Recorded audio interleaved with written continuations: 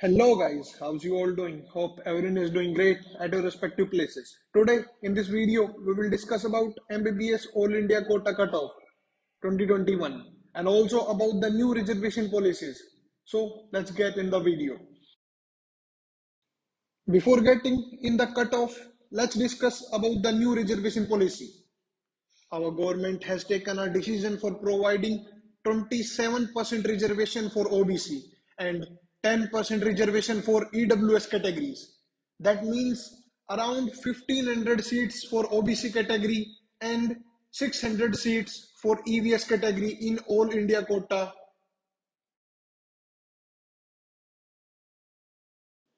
So let's start the cutoff part with OBC category. As you all know, the change in the reservation policy will definitely be beneficial for OBC students and this can be the benefit. When we will compare our 2021 predicted cutoff rank with 2020 rank, there is a good difference. Also between first and second round rank. Before getting in the video, I want to share something with you guys. This is not good. At least subscribe. We are working for you so that you get the best information. So please subscribe. We are also near 1000 subscribers.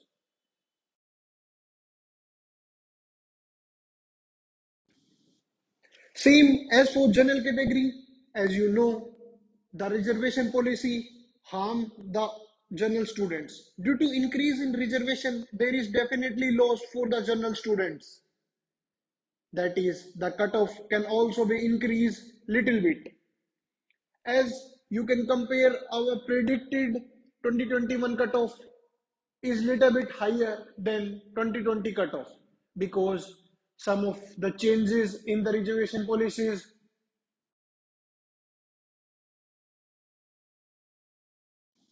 here is SC cutoff rank which is compared with 2020 cutoff rank